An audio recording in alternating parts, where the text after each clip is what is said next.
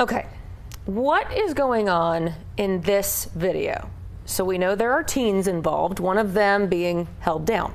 And now parents in Carlsbad have a lot of questions after these videos went public. Especially because they were allegedly recorded in a locker room at Carlsbad High School.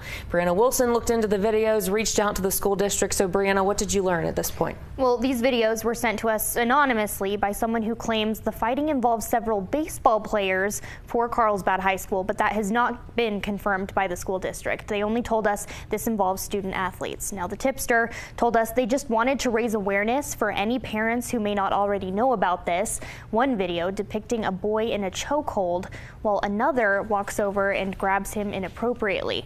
Now, two other videos show boys swinging, punching each other, grabbing and kicking each other. The person who sent us these videos said a teammate was brave enough to speak up on this after the videos were leaked, putting them on the radar of coaches, the athletic director, principal, and school administrators.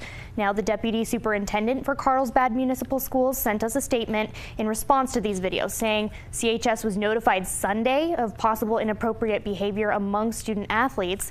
And the school takes these allegations very seriously and is investigating the situation. She went on to say, pending the outcome of the investigation, the school will issue appropriate discipline in accordance with the district policies. Now, this is a developing situation. We'll continue to follow up with the district as they figure out what their next steps are going to be. Julie, back to you. All right, Brianna, we'll see what comes of it. Thank you.